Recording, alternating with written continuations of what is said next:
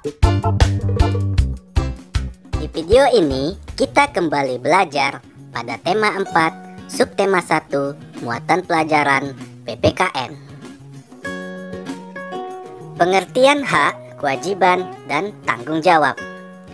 Hak adalah segala sesuatu yang didapatkan oleh manusia sejak lahir dan penggunaannya tergantung kepada diri sendiri. Contoh hak yaitu memiliki tubuh yang sehat. Kewajiban adalah segala sesuatu yang harus dilaksanakan oleh seseorang. Contoh kewajiban yaitu menjaga kesehatan tubuh. Pengertian tanggung jawab adalah kesadaran melaksanakan tugas baik terhadap diri sendiri, keluarga, masyarakat, lingkungan, negara, maupun Tuhan Yang Maha Esa. Contoh tanggung jawab yaitu makan makanan sehat dan bergizi, serta olahraga teratur agar tubuh sehat. Siswa berhak memperoleh nilai yang bagus saat ujian. Kewajiban siswa adalah belajar. Dan tanggung jawab siswa adalah belajar dengan rajin dan sungguh-sungguh. Kewajiban, dan tanggung jawab sebagai anak. Sebagai anak, kita memiliki hak, kewajiban, dan tanggung jawab yang harus dilaksanakan. Mari kita simak hak, kewajiban, dan tanggung jawab kita sebagai anak berikut ini. Hak sebagai anak. Hak sebagai anak yaitu pertama mendapatkan pendidikan. Kedua, mengungkapkan dan didengar pendapatnya. Ketiga, bermain sesuai tahap usianya. Keempat, mendapatkan penghidupan yang layak. Dan yang kelima, mendapatkan perlindungan dari orang dewasa. Kewajiban sebagai anak. Pertama, membersihkan lingkungan sekitar. Kedua, menghormati orang yang lebih tua. Ketiga, membantu teman, orang tua, dan guru.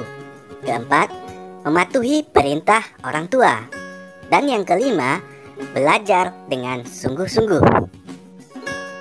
Tanggung jawab sebagai anak. Tanggung jawab kita sebagai anak yaitu menjaga kebersihan lingkungan rumah, sekolah, dan masyarakat. Menjaga persatuan dan kesatuan di rumah, sekolah, dan masyarakat. Menjaga ketertiban di lingkungan rumah, sekolah, dan masyarakat. Dan menjaga kerukunan di lingkungan rumah, sekolah, dan masyarakat. Hak, kewajiban, dan tanggung jawab sebagai warga masyarakat. Kita harus bekerja sama melaksanakan kewajiban dan tanggung jawab sebagai warga masyarakat. Jika tidak, maka kehidupan bermasyarakat menjadi tidak teratur. Gotong royong membersihkan lingkungan merupakan wujud tanggung jawab. Tanggung jawab sebagai warga masyarakat. Mari kita perhatikan contoh upaya melaksanakan tanggung jawab sebagai warga masyarakat. Yang pertama, berpartisipasi dalam kegiatan gotong royong di masyarakat.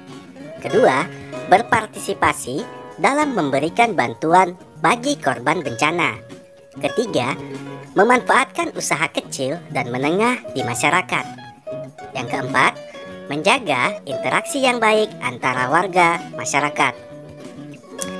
Yang kelima, membiasakan musyawarah mufakat dalam mengambil keputusan bersama. Yang keenam, mengembangkan wisata budaya lokal. Yang ketujuh, melestarikan permainan tradisional. Dan yang kedelapan, berpartisipasi dalam sanggar seni tradisional. Bentuk tanggung jawab terhadap keluarga. Bentuk tanggung jawab kita terhadap keluarga yaitu belajar dengan sungguh-sungguh, menjaga nama baik keluarga, menjaga kebersihan rumah, menjaga keamanan rumah, dan menjaga kerukunan antar anggota keluarga bentuk tanggung jawab terhadap lingkungan.